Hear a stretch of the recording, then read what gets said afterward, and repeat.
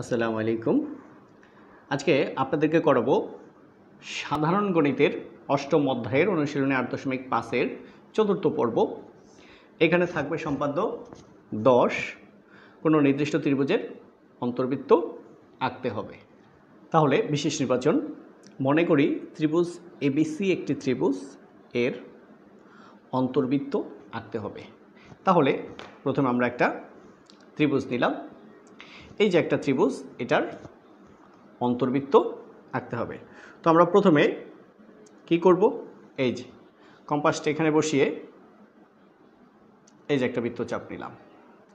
নেওয়ার পরে কি করব? এই যে, আবার এখানে বসাবেন আপনারা।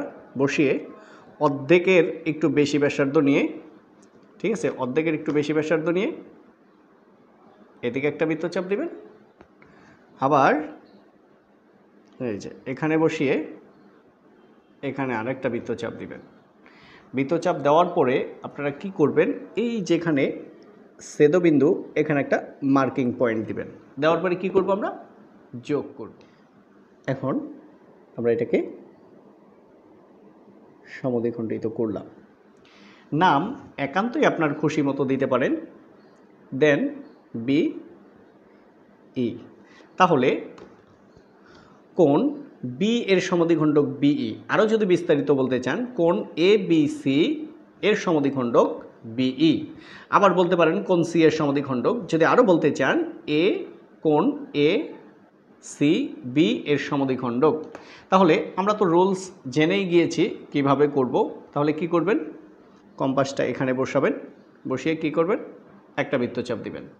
আবার অর্ধেকের বেশি ব্যাসার্ধ নিয়ে, এই যে, এখান থেকে এখানে একটা আবার এখান থেকে এখানে একটা।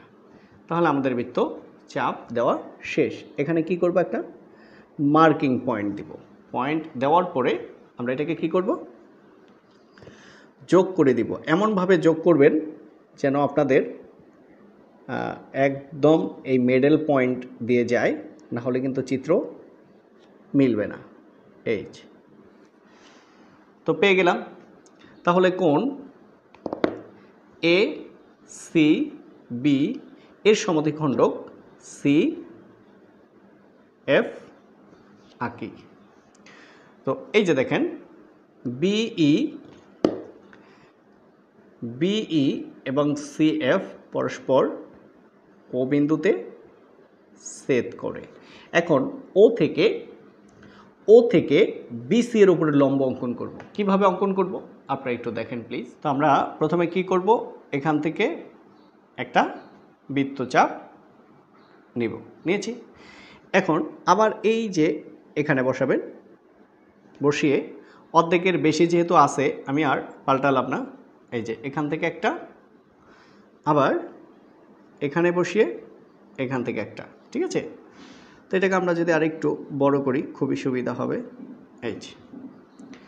তো এই যে বৃত্তচাপ দিলাম, আবার একটু দেখবেন প্লিজ এই যে। এখান থেকে, আবার এই যে, এখান থেকে। তো এরা পরস্পর যেখানে সেট করেছে, এখানে একটা মার্কিং পয়েন্ট দিব। দেওয়ার পরে আমরা কি করব? এখানে লম্ব অঙ্কন করব। তো লম্ব অঙ্কন করার আগে আপনারা অবশ্যই দেখে নেবেন একদম ঠিক মাছ বরাবর গিয়েছে কিনা? এই। তাহলে কি করলাম? দেখেন ও থেকে বিসি এর উপর ও থেকে বিসি এর উপর ও থেকে বিসি এর উপর ওডি লম্ব আঁকি। মূলত আমরা এই পর্যন্ত কিন্তু যোগ করতে পারতাম, করিনি। এখন আমাদের কাজ কি? ওকে কেন্দ্র করে ওডি সমান ব্যাসার্ধ নিয়ে বৃত্ত অঙ্কন করব। চলেন আমরা অঙ্কন করি। এখন আপনারা কি করবেন? ওকে কেন্দ্র করে ওডি সমান ব্যাসার্ধ নিয়ে ওকে কেন্দ্র করে ওডি সমান ব্যাসার্ধ নিয়ে, এই যে বৃত্তটা অঙ্কন করলে, ঠিক আছে? নির্ণেয় অন্তর্বৃত্ত পাওয়া যাবে। খুব সুন্দর এবং খুব সহজে আপনারা করতে পারবেন।